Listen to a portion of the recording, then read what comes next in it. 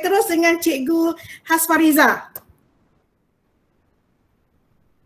Uh, sepatutnya hari ini saya nak call, saya nak call Cikgu Asfariza untuk bentangkan kepada tuan puan tapi disebabkan terlalu banyak uh, masalah hari ini menyebabkan saya rasa pun macam takut ada lagi banyak masalah saya rasa saya terangkanlah juga uh, slow-slow ya. Boleh lagi terima ya suara saya? Ha, sekejap minum air. Sekejap eh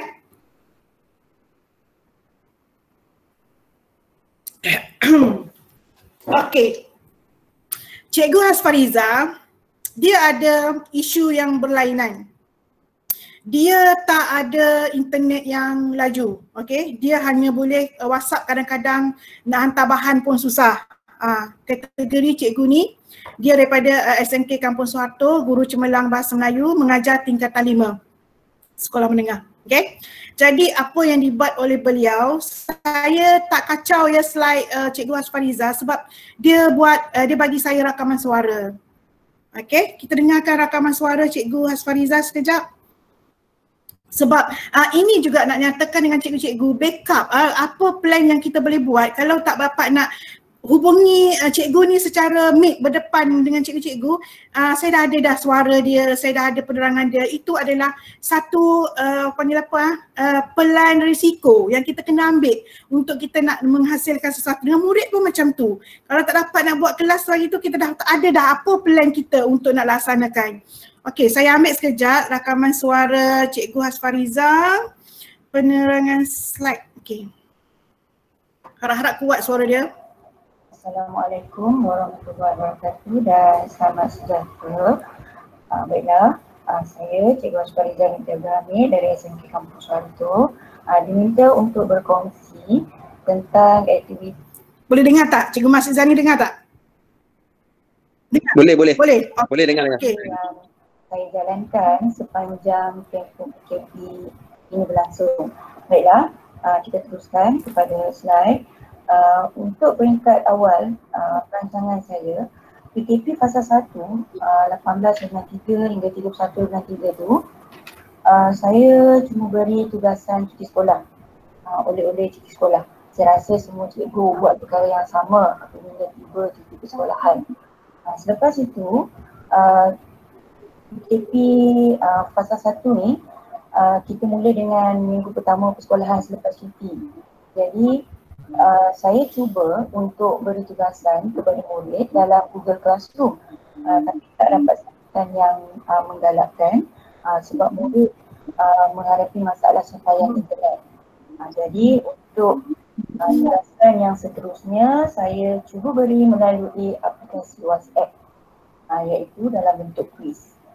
Uh, sambutannya agak menggalakkan uh, tapi biasanya anak murid kita ni kadang untuk kuis kerjaan dan kesalahan bahasa ni dia macam uh, kurang berminat untuk sertai uh, sebab dia anggap uh, bukan uh, perkara wajib yang berkaitan dengan STP ataupun PDPC uh, harian yang kita laksanakan uh, pada waktu persekolahan.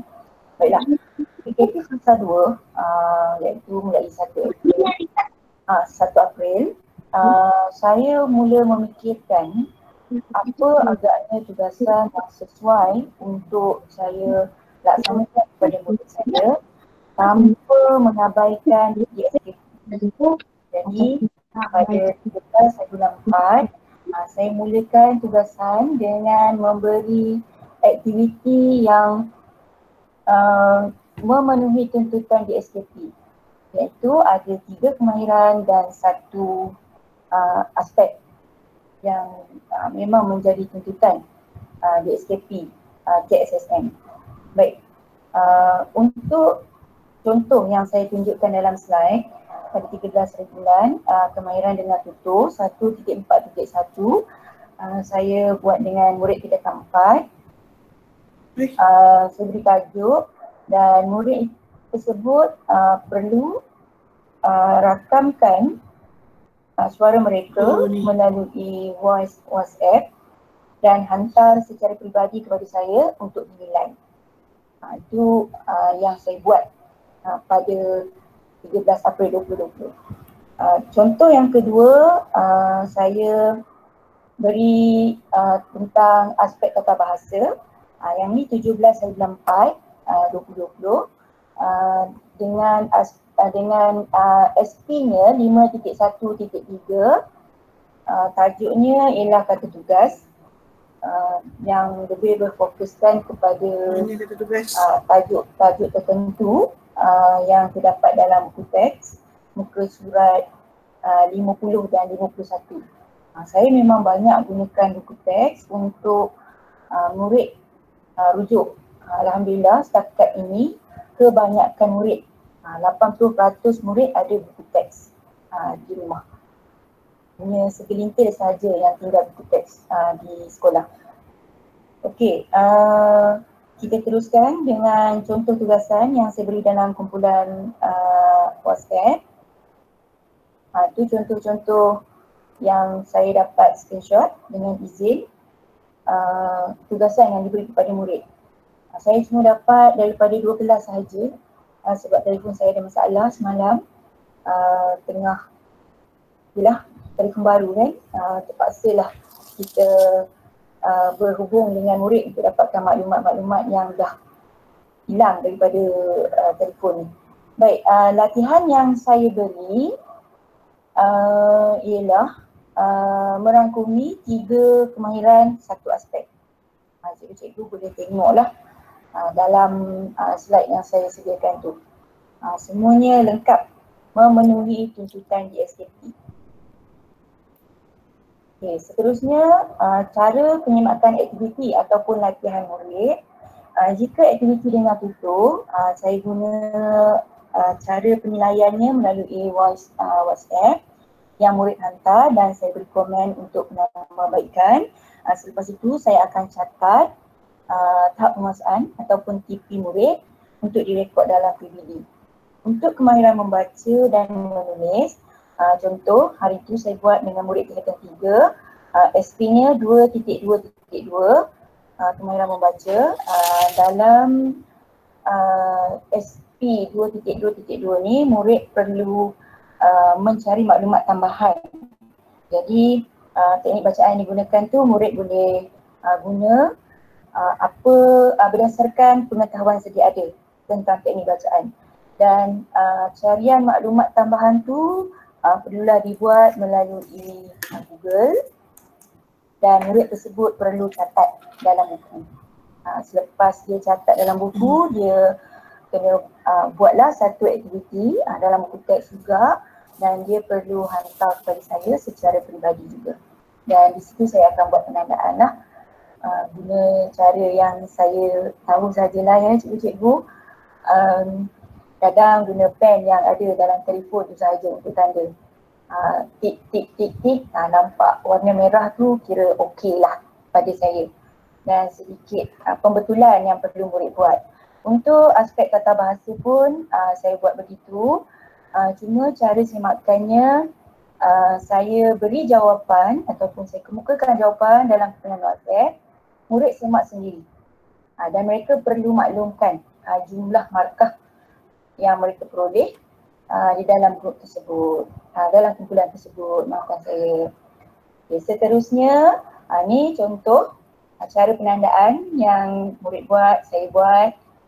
Uh, dan yang ni contoh bimbingan yang saya beri kepada murid saya untuk aktiviti dengan tutur dan inilah cara yang saya guna untuk sampaikan uh, aktiviti-aktiviti ataupun tugasan-tugasan yang saya beri sepanjang minggu tersebut.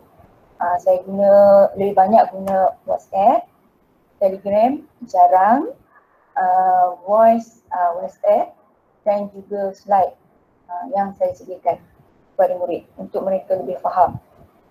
Uh, ni adalah refleksi murid uh, pun saya dapat uh, seorang sahaja yang dapat beri refleksi, uh, refleksi murid um, sangat menarik uh, refleksi yang dia beri. Uh, terharu pun ia uh, sebab ni kali pertama kita uh, buat refleksi uh, dengan murid selepas PDP uh, tapi saya buat seminggu lah cikgu eh. Uh, sebab uh, atas tekanan-tekanan yang tak dapat dielakkan. Uh, saya bagi uh, semua tajuk-tajuk yang saya buat untuk tiga kemahiran satu aspek tu. Uh, saya minta murid copy paste dan dengan izin uh, copy paste dengan izin um, beri refleksi berdasarkan tajuk-tajuk yang telah dilaksanakan. Uh, itu yang saya buat dan cara saya mencatat untuk catatan harian saya uh, kumpulan WhatsApp Plus uh, rancangan pelajaran harian format PKP yang lebih ringkas uh, borang PBD dan akhir sekali ialah refleksi. Itu sahaja perkongsian saya uh, tentang aktiviti yang saya jalankan dengan murid uh, sepanjang tempoh PKP dengan memenuhi uh, tuntutan di SKP iaitu dalam masa seminggu kita cuba laksanakan tiga kemahiran satu aspek. Dan untuk minggu lepas Alhamdulillah saya berjaya. Uh, dan murid saya memberi komitmen yang sangat baik.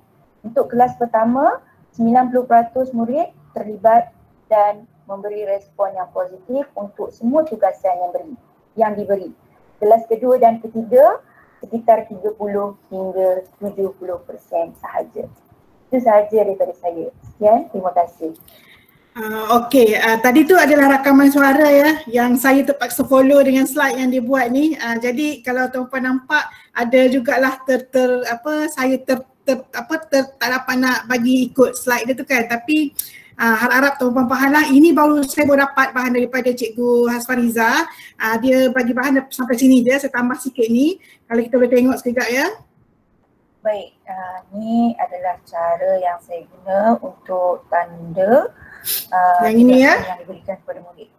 Uh, selepas tanda saya akan bagi komen lah kepada murid tersebut apa yang dia perlu buat. Dan dia tanda menggunakan pen uh, dalam dalam uh, handphone.